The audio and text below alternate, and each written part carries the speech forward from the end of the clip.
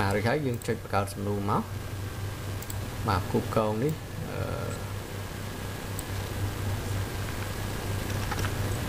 យើងអាច description ឲ្យគេបន្តិចទៅចូលគូកងអញ្ចឹងមកហើយយើងទៅយកសំណួរណាបាទនេះ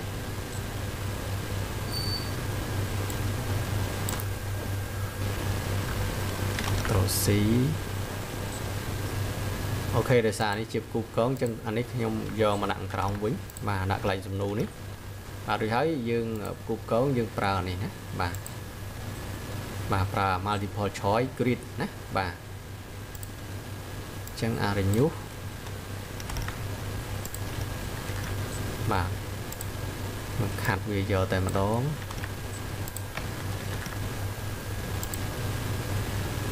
បាទប្រុង state lorry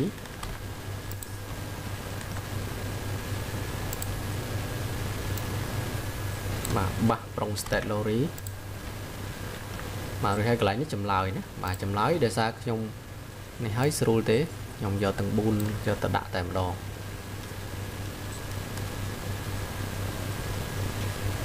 បាទត្រូស៊ីមកត្រូវីណាអញ្ចឹងយើងចូលរើសចម្លើយបាទបាសអារិញុកអីគេបាទ ប្រហែលខ្ញុំយកនេះទៅដោយសារខ្ញុំមើលអត់ឃើញខ្លឹមសារបាទកុំឲ្យខាតពេលខ្ញុំយកនេះទៅនេះអានេះមកណាបាទអញ្ចឹងមានន័យថាមួយជួរហ្នឹងយើងរើសបានតែមួយឯណាបាទហើយយើងដាក់បន្ទុកមកបាទយើងដាក់2 2 2 2 1បាទគ្រប់7ហើយណាបាទយើងបើកអានេះមកហើយយើងដាក់ saffron មកឲ្យវាច្បល់គ្នាណាបាទ អញ្ចឹងយើងអាចដាក់ជាលំហាត់ទៀតឥឡូវខ្ញុំបង្កើតមកផ្នែកទៀតជាលំហាត់ឲ្យឲ្យគ្រប់តែម្ដងបាទចឹងកន្លែងនេះគឺលំហាត់បាទលំហាត់ហើយយើងដាក់កន្លែងសំណួរនឹងមកបាទលំហាត់ខ្ញុំបង្កើត2ឥឡូវខ្ញុំយកតែមួយមកទេ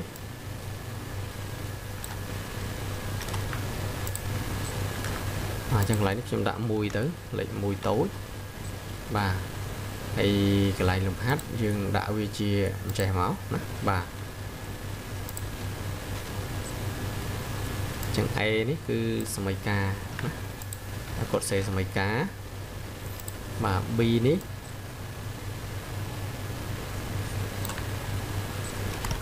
បាទសំណួរ B បាទហើយកន្លែងនេះគឺជាចម្លើយណាបាទគឺជាចម្លើយអញ្ចឹងកន្លែងនេះខ្ញុំដាក់ចម្លើយមកសមីការនេះ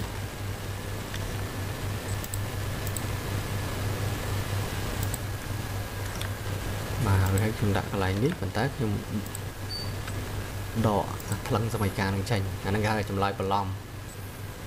បាទហើយអានេះអឺ enter ចូលយកពីរនឹងមកដាក់បាទហើយយើងផាក់មកកន្លែងនេះមកបាទហើយយើងចូលរើសចម្លើយដែលត្រឹមត្រូវណាបាទ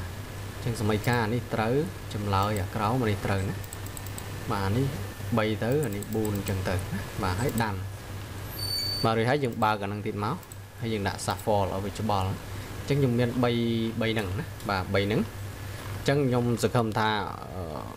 ដោយសារខ្ញុំចំណាយពេលយូរមែនតើជាមួយនឹងការសរសេរ form ហ្នឹង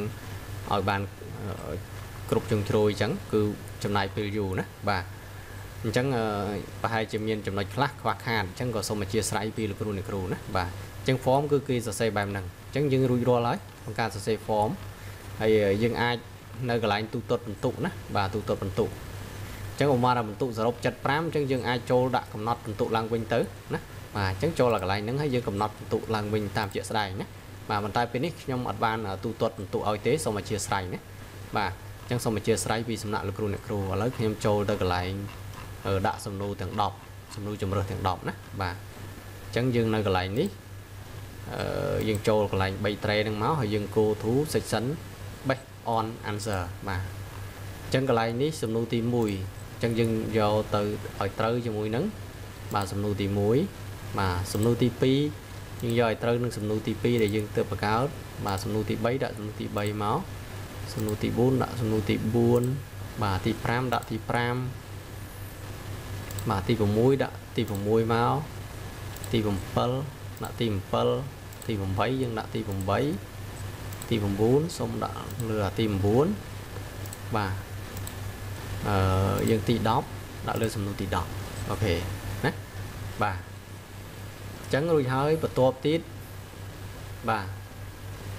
អឺពេលដែលបន្ទាប់កន្លែងនេះសូមចុចយកនេះបន្ទាប់ពីគាត់ឆ្លើយសំណួរហើយឲ្យគាត់ បាទបាទកន្លែងសំណួរទី1នេះគាត់ឆ្លើយហើយយើងដាក់អឺសូមបងប្អូនចូលធ្វើសំណួរបន្តបាទដាក់កន្លែងហ្នឹងអញ្ចឹងយើងចូលកន្លែងណាសំណួរបាទពីទី1ដល់ទី10យើងចូលដាក់អាហ្នឹងទាំងអស់សូមបងប្អូនចូលធ្វើសំណួរបន្តបាទនេះគឺជាសំណួរជំរើសណាបាទសូមបងប្អូនចូលធ្វើសំណួរបន្តហើយបើយើងមិនចង់ដាក់អញ្ចឹងយើងអាចសរសេរសំណួរយើងដាក់យើងបង្កើតអា section ធ្វើសំណួរបន្តមួយទៀតវាច្រើនអញ្ចឹងយើងដាក់អញ្ចឹងទៅយើងចំណេញ បាទយើងចំណេញ section ណាបាទដាក់អស់មកចឹងអាធ្វើសំណួរបន្តនឹងយើងដាក់តែនៅក្នុងសំណួរជំរើសទាំង10ហ្នឹងទេក្រៅពីហ្នឹងយើងអត់ដាក់ទេណាបាទ OK OK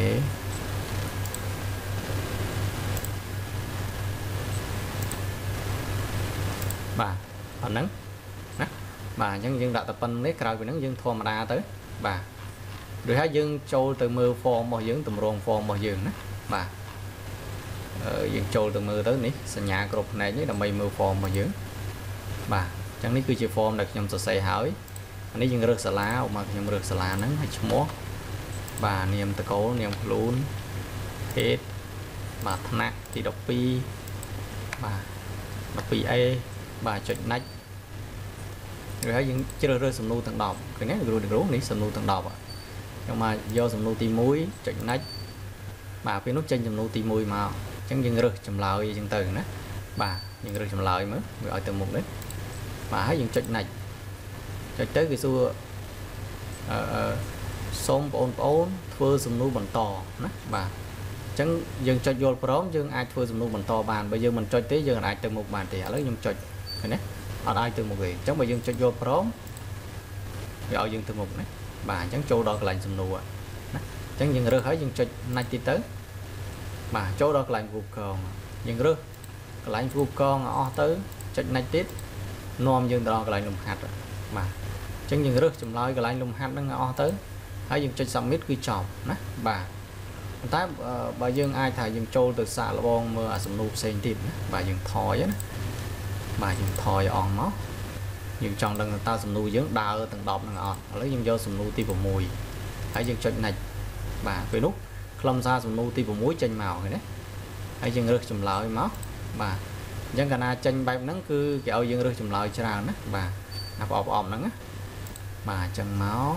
អាហ្នឹងអញ្ចឹងទៅមិនរលាយមិនរលាយអញ្ចឹងទៅចុចណាច់ហើយវាឲ្យយើងយល់ព្រមហើយចុចណាច់ទៀតអញ្ចឹងទៅណាបាទ ចឹងដូចគ្នាដែរណាបាទចឹងអាសំណួរជំរើសហ្នឹងលោកគ្រូអ្នកគ្រូត្រូវប្រាប់សិស្សថាសិស្សរើសបានតែមួយសំណួរទេបាទ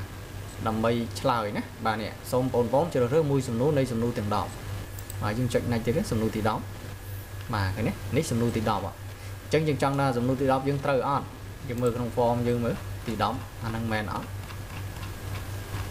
បាទនេះទី10ត្រូវណាបាទនេះអញ្ចឹង form យើងប៉ុណ្ណឹងគឺដើរហើយអូខេណា បាទយើងអាចយកឲ្យសិស្សបានអញ្ចឹងរបៀបយើងយកសំណួរនេះទៅឲ្យសិស្សបំពេញបាទអញ្ចឹងលោកគ្រូអ្នកគ្រូត្រូវចុចកន្លែងបាទខ្ញុំ scroll ឡើងលើ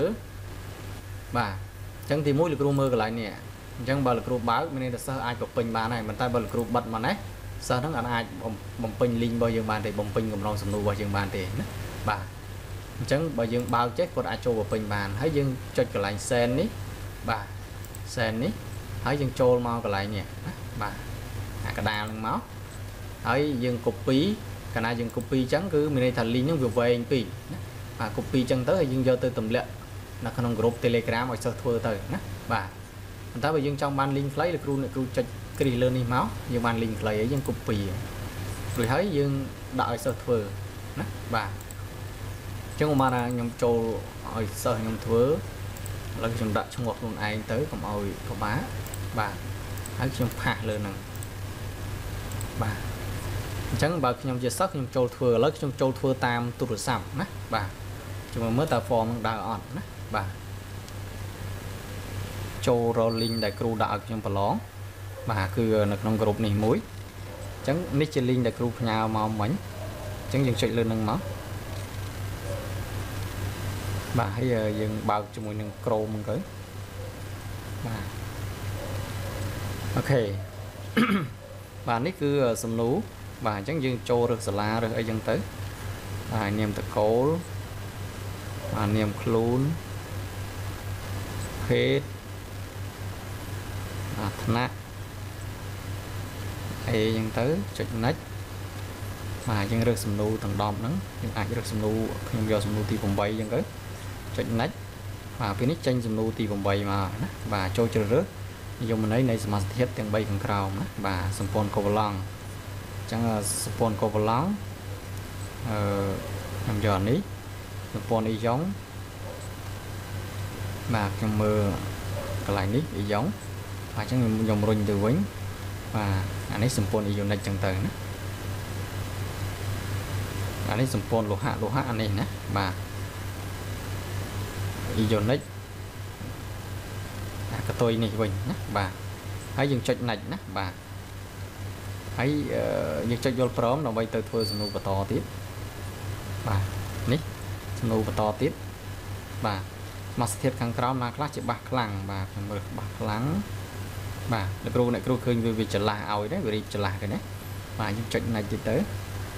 បាទនេះយើងរើសទៀតមកមកខ្ញុំរើសចឹងទៅដើម្បីបញ្ញាប់ បាទកុំឲ្យស៊ីមកណាច់ទៀតទៅបាទនេះខ្ញុំរើសចឹងទៀតមកហើយយើងចុចបាទចុច submit ទៅហើយហើយណាបាទអញ្ចឹងខ្ញុំអត់ចុច submit ទេដោយសារកុំឲ្យខូច Gmail របស់ខ្ញុំបាទហើយខ្ញុំ break អស់ទៅ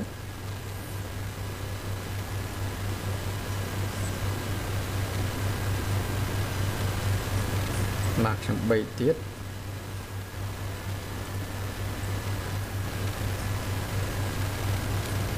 បាទបិចដល់ក្រោយ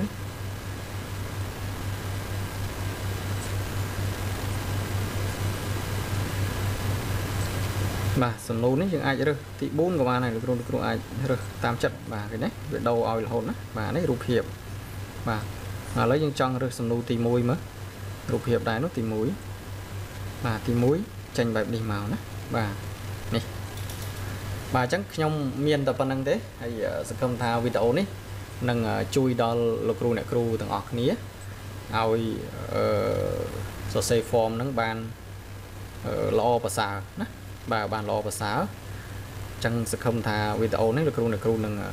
នឹងអាចសរសេរបានហើយងាយស្រួលណាអញ្ចឹងសូមលោកគ្រូអ្នកគ្រូតាមដានវីដេអូនឹងឲ្យចប់ទៅវាប្រហែលជាវាមានរយៈពេលវែងបន្តិចហើយណាបាទប្រហែលជាមានរយៈពេលវែងអញ្ចឹងសូមអធិស្ឋានបាទអញ្ចឹង ខ្ញុំមានតែប៉ុណ្្នឹងសូមអរគុណសូមជម្រាបលាបាទ